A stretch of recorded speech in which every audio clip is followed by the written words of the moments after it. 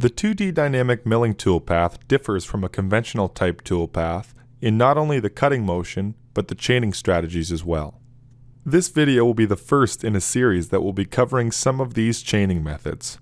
In particular, this video is going to look at the machining region, machining region strategies, and the open chain stock extensions options. When the 2D high-speed dynamic mill toolpath is launched, the first interface we are presented with is the Chaining Options dialog menu.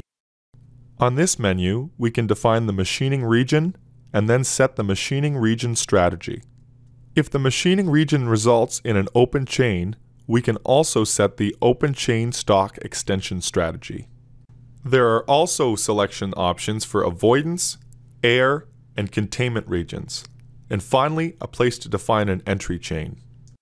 First, let's have a look at just setting the machining region.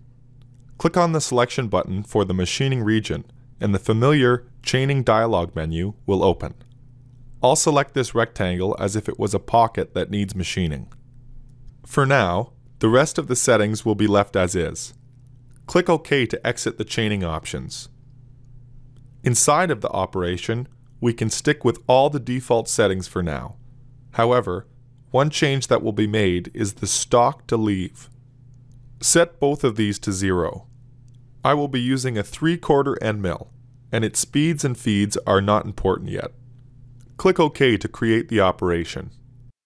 The completed toolpath is pretty much what we expect, a dynamic toolpath cutting a pocket. The toolpath works its way out from the start point, maintaining a constant step over. Once a corner is hit, it will work into that corner using Mastercam's dynamic motion. This motion continues until the pocket has been completely machined. Looking back at the geometry we selected, click the Geometry tab of our Dynamic Toolpath. For this path, we chained the pocket and had the machining region strategy set to Stay Inside. Let's change the strategy to From Outside and see what effects this has on the toolpath. With the change made, the operation will need to be rebuilt. Once complete, notice the difference in the toolpath. Now, the toolpath starts outside of the chained pocket and is really more of a facing type path. Two very different toolpaths given the same chain. Next, let's look at the difference between having our machining region as an open chain versus a closed chain. The previous example, our chain was closed. This time, let's create an open chain. Open the Chaining Options menu again by clicking the Geometry tab.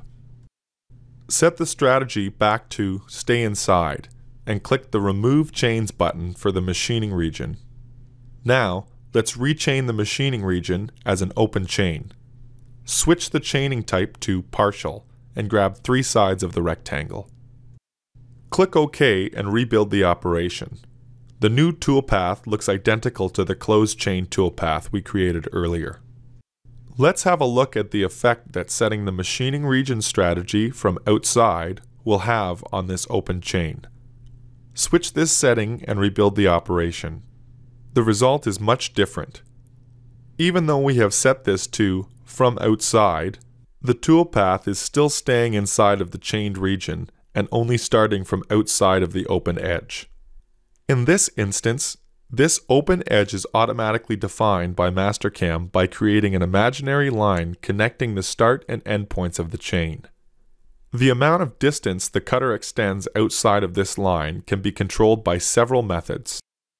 First, it can be controlled from within the operation's parameters. Click on the Parameters tab to open the toolpath's parameters and switch to the Cut Parameters page. We are only going to be looking at parameters which have an effect on this open edge cutting. The rest will be covered in a future video. The setting for first pass offset will offset the start of the toolpath an additional amount. Change this setting to 1 inch. Before we exit the toolpath parameters and rebuild this operation, have a look at the toolpath type page. On the right of this page is the same Chaining Options interface that is available when clicking the Geometry tab. Chaining can be done from this page the same as it is done from the Geometry tab. Ensure that the open chain extension is set to none. Click OK and rebuild the operation. The toolpath now extends further past the open edge. The second way that this distance can be controlled is with the stock extension setting. For this, we first need to define some stock.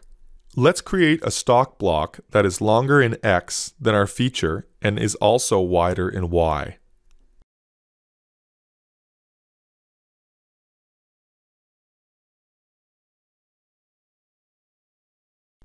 Notice I've made settings so that there is more stock in the X direction than the Y direction.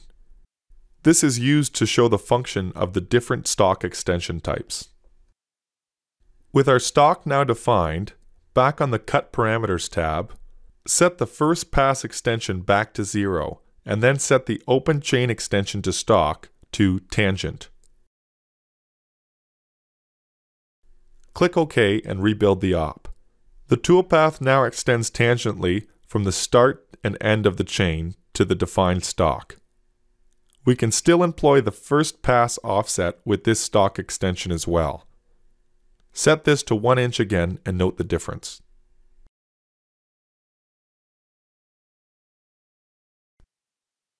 The other stock extension option is shortest distance. Let's make that change now and rebuild the operation again.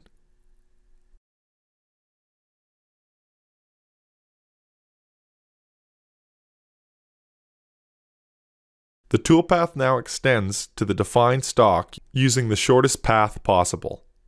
Which method to employ will depend on the starting stock and the desired resulting toolpath. Also make note that these stock extension settings will only affect open chains. The remaining chaining options will be covered in the next video.